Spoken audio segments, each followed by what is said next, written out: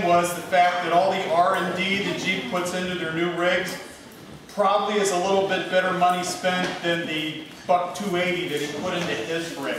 So he repeatedly kept saying, I would have never been able to do this in my CJ5. So that's the song, and I will get it to them later. And this is John singing about his Jeep. Really? So if I make any mistakes or forget the words, Who's got a ca- video camera to record it? make believe that it's John. Oh, I forgot my pick. That works, thanks.